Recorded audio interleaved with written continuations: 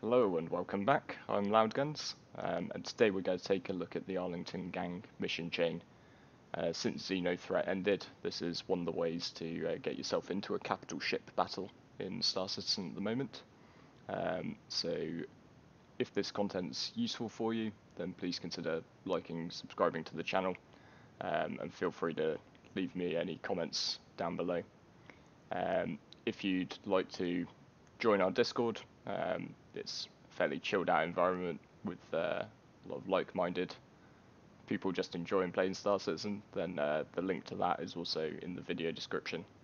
Um, and if you are a new player, sort of considering picking up a uh, game package, then you can also find my referral code down there. Uh, start you out with an extra 5,000 UEC, and it helps me out too.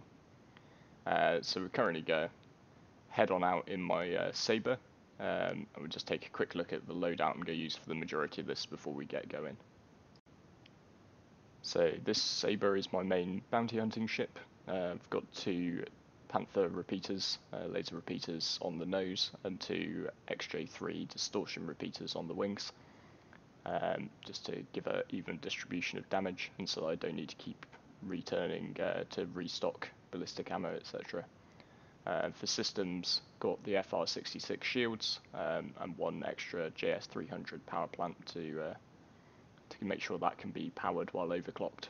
Um, and then I've upgraded the quantum drive to a military A grade one to uh, enable faster travel between the different points.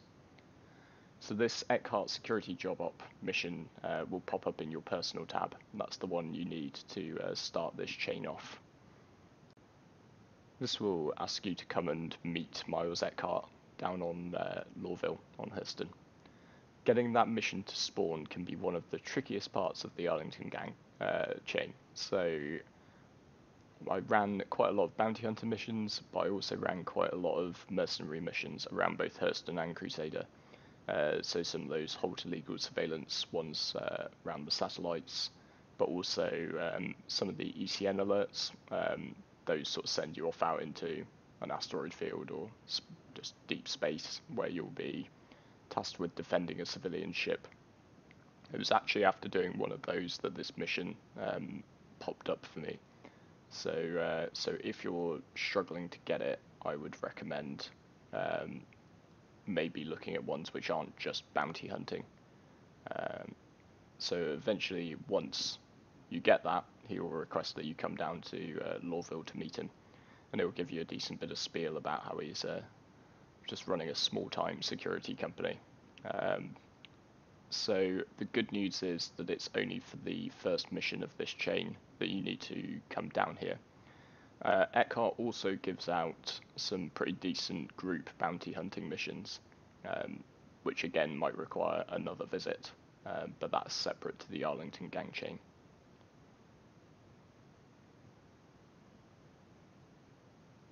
So once he has uh, done his spiel, he will offer you the first contract in the um, in the chain, and so that's going to be to take down Les Arlington um, with a payment of seven thousand five hundred Alpha UEC. So you just want to make sure you accept this one. Um, and then it functions in exactly the same way as uh, any normal bounty hunting mission. So you get the rendezvous beacon, um, come out here to one of the asteroid fields, and you find Les.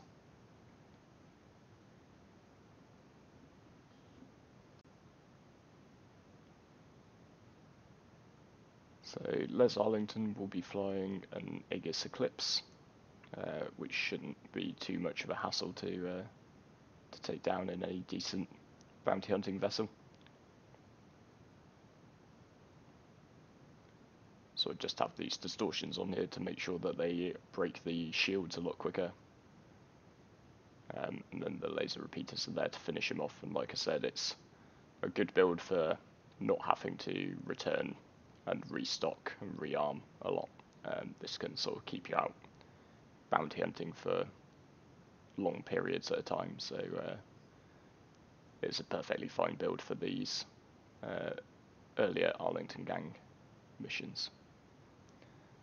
Just like with other bounty hunting tasks, you can just get in there, take out the primary target, and then turn and burn for the nearest quantum point. What would have helped me is if I'd remembered to overclock my systems though, so uh, don't forget to do that. It will make less of a meal out of um, out of targets. So just overclock all your shields and all your weapons, um, assuming you've just made sure that you've got enough power and cooling to do that. Sometimes one of the guns is a little bit tricky, but just keep patiently clicking it. So you will then start getting the uh, next missions through the Bounty Hunter tab. Uh, so the next one is to capture Nix Cantwell. Um, sometimes these just take a few minutes to uh, to appear in your list. So what I was mostly doing was sort of running one of the Arlington Gang missions, running another bounty in the meantime, and then coming back out and uh, doing the next one. So Nix Cantwell will be flying an Aegis Sabre, so we've got some Sabre on Sabre action. Um, but with this build, he shouldn't present too much of a problem. Uh, probably worth a uh, clear disclaimer before I see lots of comments about how crap I am at combat, uh, to just say that I am not a combat pilot. Uh, this is more a case of if I can do it, anyone can do it. Um, then it is a uh, guide on how to be a an ace pilot. mining's more my thing, but I'm I'm trying to get better at some of the some of the other aspects of the game, particularly combat at the moment. So up next we have Sam Weepy Arlington uh, for 12,000 AUEC. He's going to be flying a Anvil Hurricane, um, so a bit more firepower, particularly with that turret, um, and if it's got ballistic weapons, then that can do some damage if you're not careful. Um, but just make sure you keep strafing um, and the AI find it a bit difficult to hit you. Um, and the uh, Hurricane is quite a flimsy ship still, so while it packs a bit of a punch, it's a, uh, it's a glass cannon. So should be pretty easy for you to uh, to quickly knock out. Having said I'm a terrible pilot, I would just argue there is quite a bit of desync on the go at the moment, so maybe I'm not quite as bad as I look.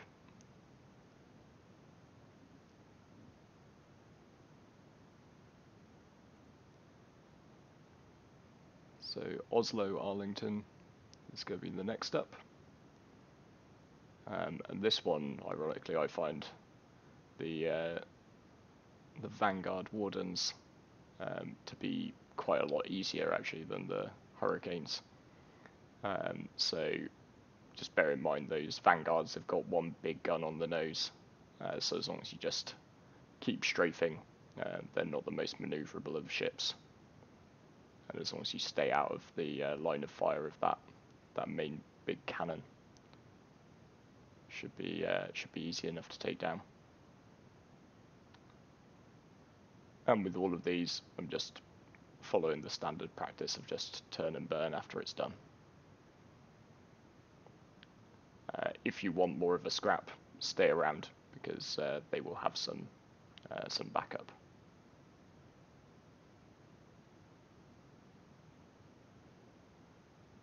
So Casdent, um, this is where it starts to maybe get a bit trickier. Sort of the Retaliator, still not too too difficult to uh, take down, but it is a bit tankier than uh, than some of the other ships we've we've come across until now, um, and it does have turrets, sort of uh, providing it with fairly good cover all over. So uh, so yeah, but just keep moving, keep strafing. AI hates strafing, um, and you should be able to uh, power through it easy enough.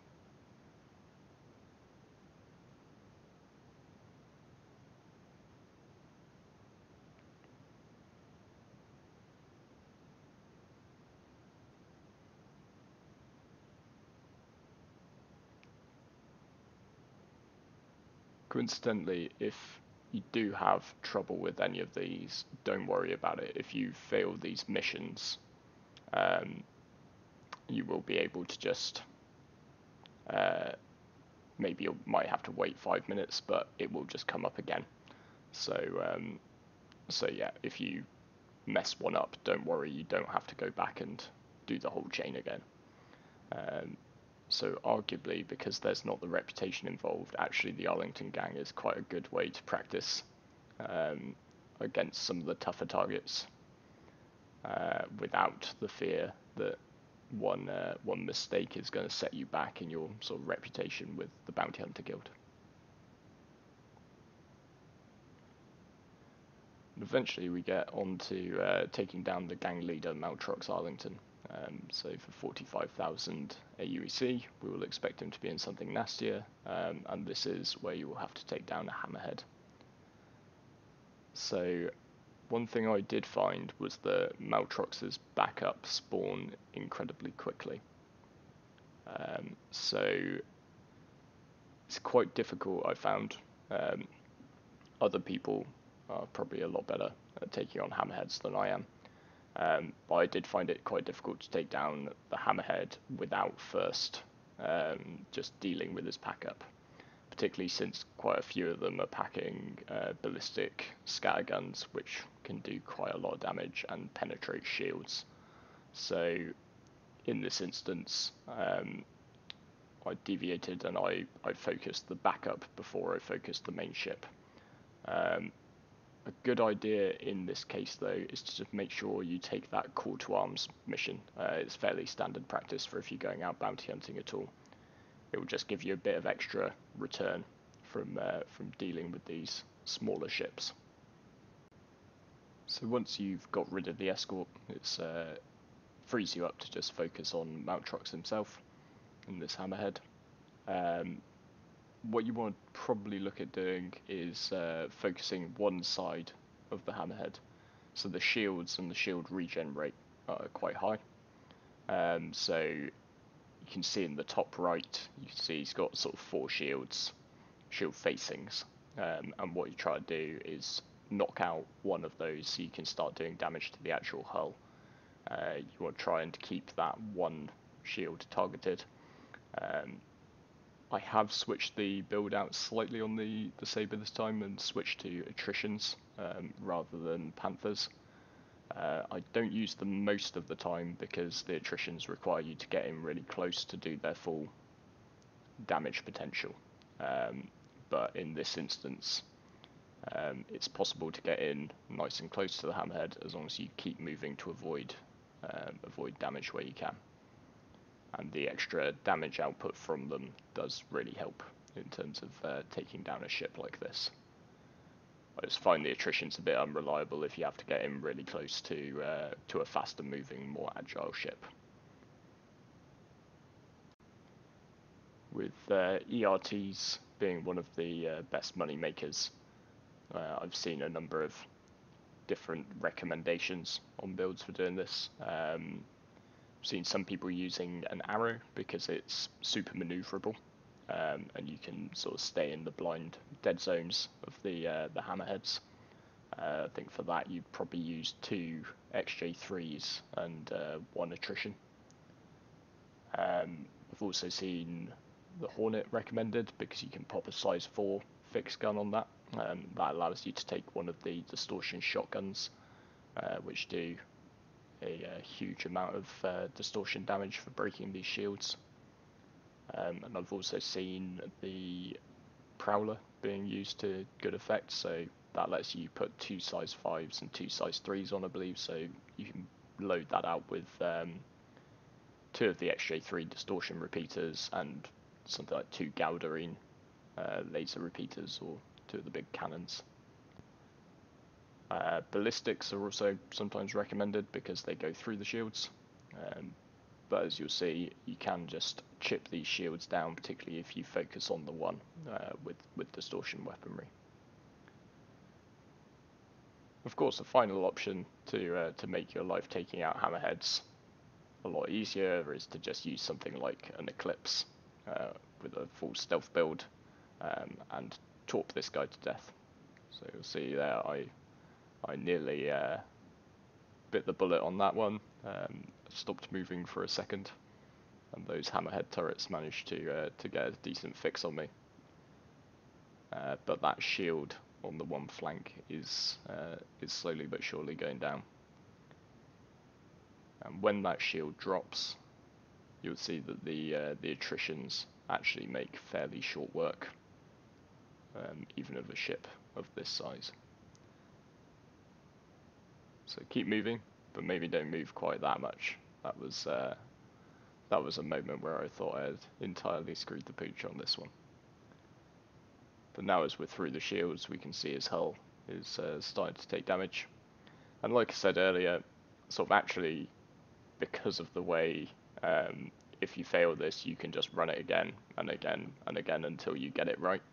Uh, actually, these Arlington Gang missions are a great way to practice um, your technique for taking down ships like the Hammerhead. So once you've taken Maltrox out, he'll get sent to prison, but then he'll escape. Um, and because a Hammerhead wasn't big enough, he will uh, go and steal himself an Idris uh, capital ship. So this mission flags up, and just bear in mind that it goes server wide. So anyone with access to the uh, the Idris mission will see the same mission that you did, um, and will uh, will get this come up and we'll be free to uh, turn up to exactly the same rendezvous point as you. So full disclaimer, I did not decide to go and uh, fight the Idris on my own. One, because I'm not that good a pilot, and two, because a lot of these things are just more fun with friends. So, uh, so first we just focused on getting rid of his uh, fighter screen. Um, didn't want those guys flying around while we try and take down something this big. And since we had four of us, we uh, we ran a bit of a mixture of ships. Um, so I went out in my Vanguard Sentinel um, just to bring a bit of extra tankiness to things. Um, a couple of the guys were in Sabres, and then we had um, a guy in a Retaliator, one of the uh, sort of bombers. Having at least one ship in your mix with um, with those size nine torpedoes um, does make this a lot easier. Um, the one thing you got to focus on is try to do everything you can to make sure those torpedoes hit. So your bomber pilot wants to let loose at the last possible moment um, with the uh, with their torpedoes, um, and if you can, you want to make sure that you spam cheaper missiles uh, towards the Idris just before those torpedoes get released. Um, the capital ship AI is uh, getting getting better, and sort of the uh, the turret gunners will prioritize higher danger targets. Um, so they should start prioritizing incoming torpedoes.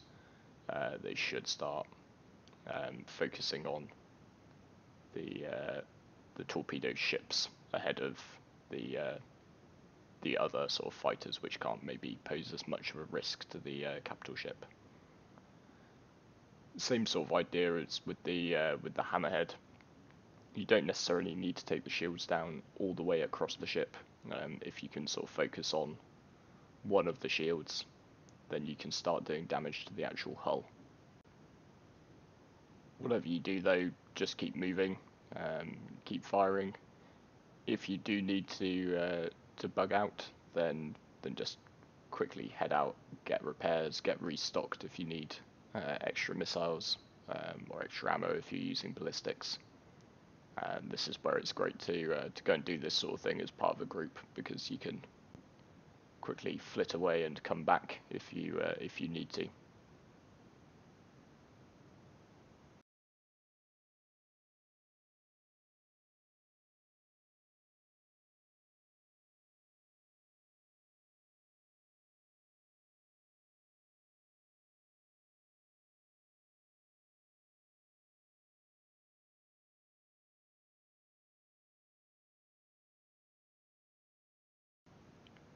So a short while later, we've uh, managed to get all the shields down on this.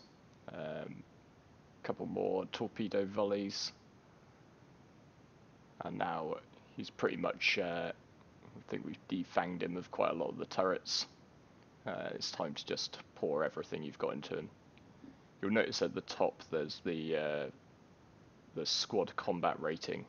Um, so this is just so that it can sort of even out the payment if uh, multiple uh, groups of people turn up to do this mission. Uh, so even if you're like maybe a solo pilot, uh, most of the time I found people are really friendly and are willing to let you jump into their squad if they've got the uh, the Idris mission up. But if you're just out there on your own and there's a group already doing it, then uh, don't be afraid to just go and start shooting it too. Uh, because if you get a bit of that squad rating, um, then you can share a bit of the payout. Uh, so it's not quite so simple as sort of you know the last hit gets the money, um, which is is definitely good in my book. Um, it'll it should apportion the uh, the payout according to how much of the uh, combat rating your squad achieved.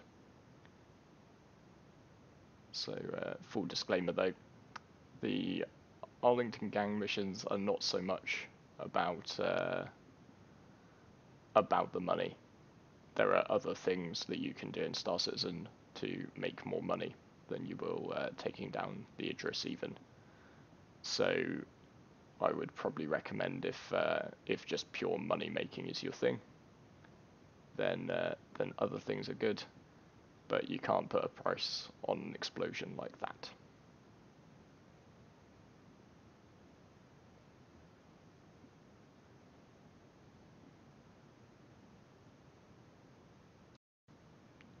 So the uh, Stanton system's a little bit safer for the time being. Uh, that said, if you uh, run this chain up to the point of the Idris, then the Idris mission will pop up for you repeatedly. Um, so the only things that should set that back are if you have to do a character reset for any reason, um, or if there's a uh, a reputation wipe um, at any point uh, due to a patch, etc. Uh, then you might have to grind out the earlier missions again. Uh, so like I said, if this was uh, useful for you, uh, if you find this sort of content interesting, then please let me know. Hit that like button, subscribe, um, and consider coming and saying hello to us on the Discord. Links are down below. So uh, until next time, I'll uh, I'll see you out there.